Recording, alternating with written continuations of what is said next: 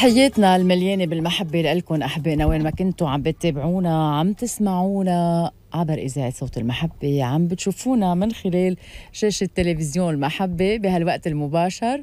أكيد هوينا هواك برنامج بيحمل هالعنوان. تنكون نحن وياكم ببداية أسبوع مباركة. آه عم ننطلق انطلاقة جديدة ببداية جديدة. حتى لو كنا قدام استحقاق كتير كبير ورايحين على فراغ والكل عم يحكي عنه وكلنا عطلانين هم وكلنا خايفين بنقول على أمل يتعبى هالفراغ بشيء مفيد بشيء مجدي بشيء نافع لكل مواطن بهالبلد.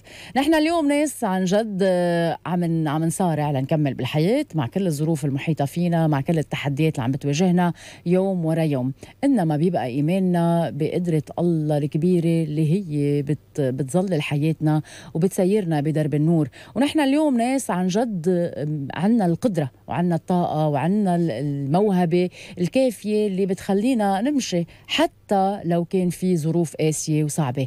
شدة وبتزول وبنقول مرحلة وبتقطع. إن شاء الله ما تطول هالمرحلة وتكون لخير كل إنسان اليوم. بهالبلد ولخير كل إنسان موجود على هالكرة الأرضية. لأنه اليوم كلنا موجودين وكلنا عنا حب الحياة وكلنا عنا تحديات. منواجه ومنكمل. ومنقول نحن اليوم بعقلنا بمنطقنا بإرادتنا قادرين نوصل لأبعد.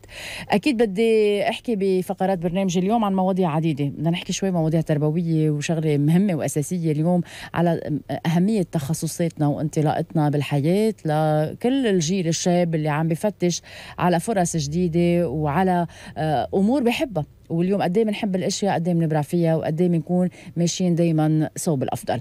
دكتور ندى إدمو معوض رئيسة قسم الأدب العربي بجامعة القديس يوسف بدنا نرحب بحضورك اليوم أهلا وسهلا فيك. أهلا فيك. اشتقنا لك بعد غيبة. كمان أنا اشتقت لكم وبحب هنيك على هالمقدمة الحلوة. شكرا. بشكرك على الاستضافة على الاستقبال معودين على طول آه، أنتم هون بصوت المحبة بتستقبلوا بتشتغلوا لتحسين المجتمع للاهتمام بالأمور التربوية كافة. نعم واليوم أنتم كمان دوركم كتير كبير وفعال. قديش بنربي اجيالنا بطريقة صحيحة؟ قديش بنحصد نتائج بحياتنا الاجتماعية بحياتنا الوطنية اليوم؟ لأنه نحن بأزمة. ويمكن في معضله ببلدنا مش عم نعرف نحلها آه، مشكلة مين أزمة مين تربية مين تنشئة مين. الاعتماد على هالأجيال الشابة اللي عم تكبر وتتنشأ وتحمل كل القيم. نحكي قيم من كل من من كل الميلات يعني اجتماعيا تربويا اخلاقيا دينيا ايمانيا. كل هيدي بدها تجتمع مع بعضها البعض لتعمل الإنسان الإنسان اللي بيبني مش الإنسان اللي بيهدم. يعني هون بدنا نحكي عن التربية ك آه، إذا بدي أقول خشبة الخلاص الوحيدة يلي ممكن تخلي البلد يطلع من الأزمات المتلاحقة يلي هو آه، عم بعيشها. آه، ليه ليه بدي أحكي عن التربية؟ لأنه التربية التعليم إن كان التعليم المدرسي أو التعليم الجامعي إذا بدك تقولي هن يلي رح بيعطوا مهارات للشعب ليقدر يرجع يقلع من جديد ليرجع يكون عم بينطلق من جديد ليكون عم بيحسن المهارات تبعه ليكون عم بيحسن الشغل يلي عم بيعمله وكمان ما بدنا ننسى إنه التربية على المواطنية يلي نحن كثير من المرات بنفتقدها. صحيح. يعني شاطرين إنه نحط آه، المسؤولية على الدولة. وكثير من المرات بنحط المسؤولية على الدولة. بنقول إنه الأحد الماضي شتت الدنيا آه، فاضوا الطرقات.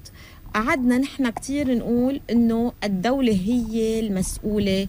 كان في مسؤولية على الدولة كيف ما كانوا مهتمين بس بالنهاية ما مين كب الزبالة ما كل مواطن بكب قنينة بكب ورقة هو عم بيساهم بهيدا الشيء اللي عم بعيشه. ما فينا نحط حق على الدولة بشيء نحن مسؤولين عنه. نعم. المسؤول الأول والأخير هو المواطن. فعلى كل مواطن أنه يكون عم بيعرف مسؤولياته شو واجباته شو. أنا شو فيني أعمل؟ أنا كيف فيني أكون عم ساعد؟ أنا كيف فيني أكون عم بتصرف لما أوصل أو وصل البلد يلي أنا عايش فيه؟ لا هالإفلاس أما لهالأوضاع. يعني بنيجي بننتقد نحن السياسيين بس ما السياسيين نحن انتخبناهم. نعم. فالمواطن عنا ما عم بيحمل مسؤولية. نحن بحكي عن التربية لنقدر نعطي لكل مواطن لكل إنسان المسؤولية. إنه أنا في علي مسؤولية إن كان بالانتخاب إن كان ب آه، آه، إذا بدي أقول التصرف اليومي إنه ما كب بالشارع وراء ما كب أنين المي بالشارع. شفنا الزبالة كيف بينت على الطريق. طب هي الزبالة إجت من وين؟ يعني مع الشتاء نزلت؟ يعني ما بعرف مين. في حدا غير من برا اجى حط لنا اياهم هون؟ ما في. نعم. طيب ما نحن هون بمحل معين نحن علينا مسؤولية. خلينا كل واحد يتحمل مسؤولياته. أنا كإنسان اتحمل مسؤوليتي. مثل ما علم كل شخص علم ابني علم تلاميذي إنه أنا كان نحن كمان علينا مسؤوليات. ونحن من مسؤولياتنا كل واحد يعمل مسؤولياته بيقدر يصلح البلد. نعم. دكتور ندى اليوم أنت أستاذة جامعية وأكيد مواكبة طلابك وعندك كمان إمكانية التواصل مع صفوف أصغر بالمدارس الثانوية والتكميلية وغيرها. قد إيه اليوم الأجيال عم توصل فعلا مهيئة وحاضره لتوصل لعندك على يعني على أي مجال تخصص تكون فعلا عم تكون هي المسؤولة هي بدها تبني حالها وبدها تبني وطنها وبدها تبني مجتمعها بنفس الوقت. يعني أنت اليوم اللي بتعينيه اللي بتشوفيه. هلأ إذا فينا نحكي عن شغلة فينا نحكي عن تراجع. أنا إذا بدي أقول بقول تراجع بكمية المعلومات يلي عندهم إياها التلاميذ بس في عنا مهارات بالمقابل. آه. اكتسبوها. آه كثير من الأشخاص يعني كثير من الأساتذة يلي كانوا أكثر مع البرامج القديمة بيوصلوا بيقولوا لك إنه هلأ شو عم بياخذوا مستوى. وبتسمعيها أكيد وبتسمعي العالم عم تحكيها إنه هاو كنا نحن ناخذهم على أيامنا بالسيرتيفيكا هن هلأ ابني بالبروفي عم بيتع... يعني في عندك تسمعي من هالأمور هيدي. أنا هون بدي اوضح إنه إذا خفوا المعلومات بمحل معين بس الأولاد اكتسبوا مهارات. ونحن هلأ بالقرن الواحد والعشرين الأشخاص اللي عم بيوصفوا الشرك ما بتطلع على شو بتعرفي ولا على الشهادات بيطلعوا انت شو عندك مهارات شو عندك سكيلز شو بتعرفي تعملي. مشان هيك أهم شيء هلأ يلي التعليم بالقرن الواحد والعشرين عم بيتوجه له هو صقل المهارات نعم. يعني بكل اختصاص بتكوني انت عم بتجربي آه تعطي آه مهارة أما قد إيه فيك تعطي مهارات للتلميذ أو للطالب يلي عندك ليقدر بس يتخرج يكون قادر دغري يلاقي يلاقي شغل يفوت بسوق العمل ويبين قد إيه هو ممكن يكون شاطر وقوي بسوق العمل فهون نعم. التحدي صار هلأ بالتعليم نعم. شاطر آه، وقادر يمشي بسوق العمل وقد إيه اليوم من الناحية العلائقية. نحن اليوم ناس بنتفاعل مع بعضنا البعض. وعلائقيا بدنا نكون كتير واضحين مع الآخرين حتى نعرف آه، حدودنا وين وين بنوصل. يعني حريتهم أو حريتنا بتوقف عند حرية الآخرين. قد إيه نحن اليوم كمان عندنا هالإمكانية نكون محافظين على هالمسافات وحافظين قيمنا وعم نعمل فيها عم نطبقها عايش واقع. اللي عم نشهده اليوم بعالمنا الناس كأنه ناطرة بعضها على على حيالها كلمة ممكن تتلفظ. أو بلحظة ممكن يصير في مشاجرة أو ممكن يكون في معارك طاحنة كلامية. قديش اليوم الوسائل وسائل التواصل عم هون بتكون ال social media ال social media كثير بتسهل. إنه platformات أو منصات للناس تتراشق بالتهم وبال بالكلام البذيء أو بشتى أنواع. ليك ال social media بت بتسهل العنف بتشجع على العنف. يعني رح أعطيك مثل كتير صغير. أنا قاعد أنا وياك هون ما فيني أكون كتير عنيفة معك. لو تخنقنا بضل في حدود. بس إذا انت أنا بغير محل وأنت هون بقدر أنا أكتب بدون ما أطلع بعيونك بقدر أكتب اللي بدي اياه وببعث لك إياه. وبيكون عندي الشجاعة أكثر إنه أكتبه. وبكون عارفة إنه يمكن أنت أكثر ما رح تقدري تردي أو إذا رديتي كمان الرد رح بيكون بطريقة غير مباشرة. فهون هي المشكلة. بس أنا وقت كنت عم بحكي عن الشطارة عن هيدي المهارة هي الذكاء الذكاء يلي بيتمثل بحل المشاكل. يعني أنا ما فيني أجي أقول آه، هيدا الإنسان ذكي وعنده أعلى شهادات بس إذا كان قاعد بالشغل أو بالمكتب وصار في أي مشكلة هو ما عرف حلها وطلع منها. يعني هون آه، إذا بدك تقولي عم بنفتش أو الذكاء صار ببين أكثر بقدرة الشخص على التواصل مع الآخر. لأنه نحن إذا بتقولي صرنا بعالم إنه أنا فيني أفتح شركة إذا ما كان عندي علاقات منيحة وإذا ما كان عندي PR قوي أنا ما بقدر أقلع شركتي وما بتجيب زبونات. يا أما إذا أنا كان عندي مشكلة وما عرفت حليتها أنا وقفت وما قدرت نفعت الزبون. فمشان هيك وقت صرنا هلأ بنحكي عن الشطارة الشطارة مش إنه أنا أكون قادر أدرس وأحفظ وأعمل وجيب أعلى علامات الشطارة أنا على أرض الواقع قد إيه قادرة أكون عم بحل المشاكل يلي عم بتواجهني أنا قد إيه قادرة يكون عندي تواصل قد إيه قادرة أكون عم بفتح علاقات قد إيه قادرة أكون الدائرة تبع العلاقات تبعي أوسع قد إيه أنا بكون عم بقدر أطلع بشغلي أكثر نعم. كل هذه الأمور اليوم بنرجع فيها للغة لنعرف نتواصل مع بعضنا البعض من هيك بدي فوت على هالدبلوم آه، أو الدبلوم الجامعي لنحكي فيه عن اللغة العربية والأدب العربي والنشاطات الفكرية عندكم بجامعة القديس يوسف اليوم بدنا نضوي معك على هذا الموضوع بما أنه حضرتك رئيسة قسم الأدب العربي بالجامعة. قد إيه نحن بنحب لغتنا وقد إيه متمسكين فيها وقد إيه بدنا نكمل. هيدا السؤال حلو قد إيه بنحب لغتنا إيه بنحب لغتنا؟ نحن بنتمنى لغات من من كل من كل العالم. آه يعني أهمية اللغة اللغة هي وسيلة تواصل وهي اللي بتميز الإنسان. يعني ما في إنسان إذا لو ما كان في لغة ما كان في شيء بيميزنا عن الآخرين لو ما عنا هاللغة أو لو ما عنا اللغة ولو ما عنا كمان إذا بدي أقول مهارة الكلام الكلام يلي آه، إذا بدي أقول آه، في عنده وظائف كثيره منها الوظيفة الجمالية وظيفة التواصل كل الوظائف يلي بفوتوا يعملوا اختصاص لغوي لغة. نعم. اجمالا آه، بيشتغلوا أما بنكون عم نشتغل على وظائف اللغة إلى جانب اختصاص ال licence أو الماستر أو الدكتوراه بالأدب العربي أو باللغة إن كان أخذوا مسار لغوي أو مسار أدبي هلا صار التعاطي مع اللغة كهي وسيلة تواصل وكمهارة وكمان هي هلا إذا بتقولي المجال الجديد يعني وصلنا لمحل بالعالم آه، التطور كان صار الناس تزيح شوي عن اللغة تقول نحن بدنا آه، علوم بدنا تقنيات. هلا رجعنا وقت فتحت ال social media والعالم الرقمي. ما العالم الرقمي بده content بده editing يعني أنا ما فيني أكون عم بطلع ببرنامج مثل برنامجك أما عم بطلع ب content لتلفزيون لمنصة رقمية بدون ما يكون في عندي حدا عم بيكتب بدون ما يكون في عندي حدا عم بيحضر لي المضمون. يعني اليوم تركيز على المحتوى. هيدا المحتوى خلينا نرجع للغة. طبعا. ونركز عليها مع إنه اليوم طبعا. وتفتح يعني مجالات شغل كتير كبيره يعني هلأ نحن في عنا دبلوم جامعي. المحتوى الرقمي نعم. لأنه عم ننتقل من الصحافة التقليدية للصحافة الرقمية. ثلاث ارباع الصحف بشكلها التقليدي يعني الورقي سكرت صارت صحافة رقمية. في عندك كثير من التلفزيونات يلي هن المنصات مثل نتفليكس مثل شاهد والتلفزيونات حتى عم بيتمش عم بيمشوا لهالتوجه هيدا. يعني رح نوصل لمحل يبطل في آه، تلفزيون مثل ما نحن بنعرفه بالشكل التقليدي تبعه.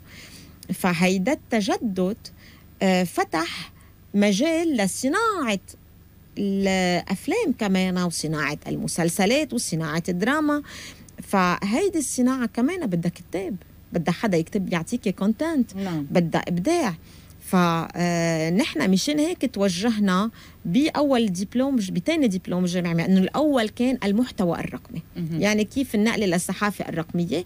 رجعنا بعدين بس شفنا إنه بحاجة لكتاب سيناريو عرضنا كمان دبلوم ثاني باسم الأدب العربي وهو كتابة سيناريو باللغة العربية. آه كتر خير الله لاقى كثير آه استحسان هيدا الدبلوم يعني قلعنا أول سنة السنة مقلعين ب آه promotion جديدة وكمان عندنا مشروع إنه نطوره إنه يصير ماستر إبداعي.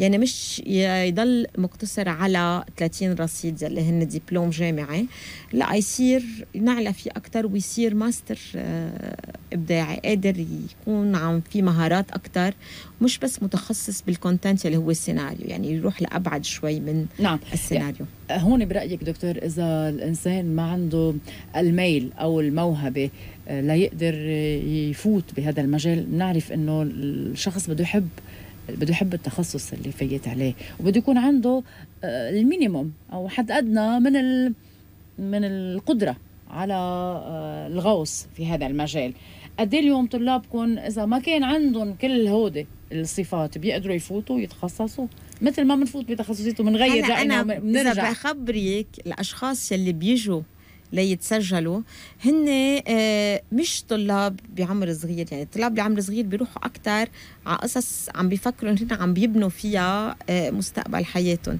آه، كثير من الطلاب يلي تسجلوا بالدقيق هن عندهم اختصاصات مختلفة. بس هن عندهم موهبة الكتابة وبحبوا يكتبوا.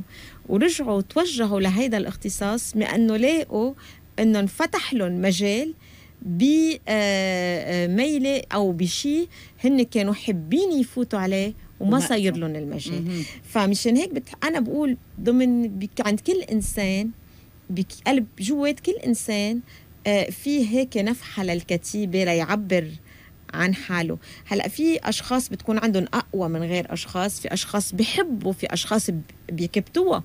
يعني كثير من الأشخاص بيقول لك أنا بحب أكتب بكتب بخبيهم لإلي ما بقري حدا. أما ما بيستحوا يخبروا يقولوا إنه أنا إيه بكتب. وبالفعل إنه يلي بده يكتب بده ينشر آه، بده يكون في عنده الجرأة. يعني مش هينة أنت تكتبي آه، مشاعرك تكتبي مرات كتير قصص آه، بتحسي حالك كأنه يمكن عم تسمحي للآخر أنه يفوت على داخلك على جوات أفكارك على جوات راسك. منا هينة؟ منا, منا هينة أبدا؟ وأنا بلاقي بدها جرأة الكتيبة والنشر. ويلي بده يصير كاتب أما بده ينشر مش بالهين. يعني مرات بنفكر إنه يلا نشروا كتب وعملوا كتب. لا مش بالهين. قد إيه اليوم كمان الكتاب بعده قريب منا؟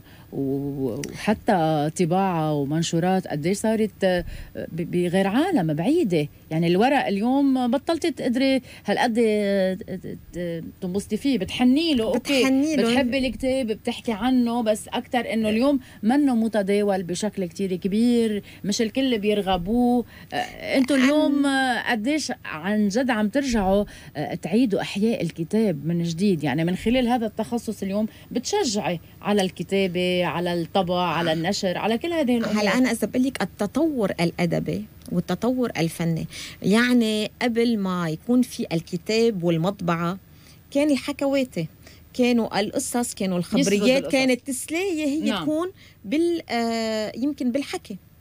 بس صار في المطبعة اكتشفوا المطبعة وصار في العلم تطور مشيت موضة الجرايد والكتب يلي هي خلت الأدب يخلق لأنه يعني نحن ما كان في أدب لو ما كانوا عم بيقروا ويكتبوا. التطور يلي وصلنا له هلأ مع التلفزيون خلق لنا نوع جديد يلي هو الأفلام والمسلسلات. وإذا بتجي القصة هي الرواية هي عم نشوفها بفيلم سينما مرات.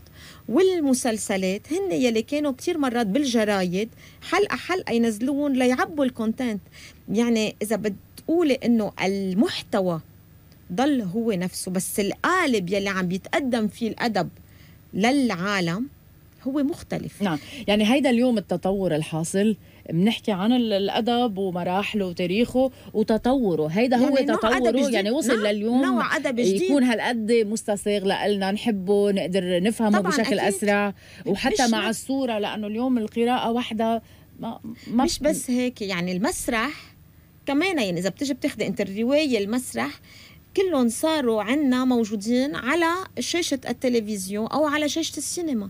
يعني أنا مرات كتير وبس أحكي يعني منهم بيقولوا إنه كتاب لا كتاب ما نفس الشيء. يعني وقت اللي كنت بالكتب في عندي كان كتب إذا كانوا عم بيقروها الأولادنا نقول لهم لا هيدي مانا. مش كتب آه إذا بدنا نقول أدبية. وفي تصنيف كتب أدبية نفس الشيء بالفلوم بالمسلسلات في عندك مسلسل لايت بضحكك. وفي عندك مسلسل أو فيلم بتحسي فيه عمق في تفكير في دراسة شخصيات فهيدا تطور مش إذا حضرنا فيلم إنه نحن خلص بعدنا عن الكتاب ما قرينا. أكيد ما قرينا بالشكل بس يلي الفرق كيف بيوصل لك دكتور اما مريت بيوصل لك باللغة العامية. فرق ما يوصل لك باللغة الفصحى. أنت بدك تركزي على لغتك الأساسية تتعلمي طلابك ليكونوا عن جد بارعين بهذا المجال. إنه أنا لغتي بدي أتمكن منها لأنه كمان اللغة لها قواعدها وأسسها. ما فيني هيك ودي لك إياها بهيدا الشكل. اليوم كمان اللغة اللي بتنكتب باللغة الأجنبية بس بنفس الوقت تلفظيها عربي. شو؟ شو عاملين بعالمنا اليوم؟ خالطين خالطين الأشياء. في مزج يعني بين كل هذه الأمور؟ يعني أنا بقول لك التطور الانساني إنه أول ما بلش ونفس الشيء بدي أرجع معك. يعني أول ما بلش ينكتب الأدب الفرنسي كان ينكتب باللاتيني وكان في إذا بدنا نقول آه، ثورة كبيرة وقت نقلوا من آه قالوا لا بدنا نكتب يعني بالقرن السادس عشر. كانوا شعراء قالوا لا نحن بدنا نكتب باللغة. الفرنسية اللي هي كانت اللغة يلي نحن مثل هلأ اللبناني عنا بين اللبناني والعربي. وجربوا يكونوا عم بيروحوا أكثر صوب لغتهم المحكية. اللغات هي بتطور دائم. يعني في كلمات جديدة بتفوت عليها في آه, آه، في آه قصص جديدة في آه حوادث في قصص جديدة عم تجي. يعني اللغة منا شيء جامد. اللغة تتطور مع تطور البيئة مع تطور المجتمع بترافق المجتمع. هلأ نحن ما فينا نضلنا وقت عم بحكي أنا بالتواصل بين آه، شخصين ما فيني أقول أنا إنه إيه إذا ما قال لي صباح الخير كيف حالك هو عم ما عم بيحكي عربي. نعم. يعني في شغلة كمان إنه بده يوصل المساج. إذا نحن بدنا نشتغل أكثر لغويا تدقيق لغوي في اختصاص تدقيق لغوي عم بياخذوا بالمدرسة آه بيتعلموا القواعد بيتعلموا يكتبوا بيتعلموا آه قواعد اللغة المضبوطة. إنما بحياتنا اليومية يمكن اللغة المكتوبة بنضلنا محافظين فيها على اللغة الصحيحة واللي هي كتير مهمة والمحافظة مع أنه حتى اللغة الصحيحة تطورت نتفة كسرت من آه، إذا بدي أقول حديتها. صرنا أكثر عم نروح على لغة بيضاء قادرين نستعملها بتشبه الحياة اللي عايشينها الحياة اليومية اللي نحن عايشينها أكثر بس وقت حدا عم بيحضر آه، مسلسل أما رواية آه، فيها دراسة شخص فيها شخصيات عميقة فيها مواضيع اجتماعية عم بتعالج مواضيع. ما كمان في مليون رسالة عم توصل أكثر من إنه إيه صباح الخير كيف؟ كيف حالك؟ الوقت دهمنا وراح يخلص دكتور ندى. تنختم نحن وياك هيدا الدبلوم. الوقت معك بيقطع كثير بسرعة. وكمان معك. قد إيه اليوم مثل ما قلتي في استحسان وفي إقبال. المجال مفتوح بكل الأوقات الأشخاص اللي حابين يكونوا عم بيتسجلوا وعم بي بي بيفوتوا بهذا التخصص؟ آه، اجمالا نحن بنبلش يعني عم نعمل دورة آه، كل سنة. دورة كل سنة. فالدورة بتبلش آه، بهالوقت مثل بهالأيام يعني. وبس نخلص بيكون في معهم مجال ليكتبوا ليرجعوا يقدموا مشاريعهم ويطلعوا النتائج نعم نحن بدنا نتمنى لكم كل التوفيق. ونشكرك دكتورة ندى إدمو معوض على حضورك معنا رئيسة قسم الأدب العربي بجامعة القديس يوسف. يعطيك ألف عافية. وإلى اللقاء إن شاء الله بحلقات جاية كمان نقدر ندور على مواضيع أخرى. بشكرك من جديد. فاصل أحبائنا ومنتابع نحن وياكم بتاني فقرة مع دكتور أحمد الزعبي أستاذ اللاهوت السياسي والحضارة العربية بجامعة القديس يوسف أيضا. تنحكي معه عن مناهج معاصرة بقراءة النصوص الدينية. فاصل ومنتابع نحن وياكم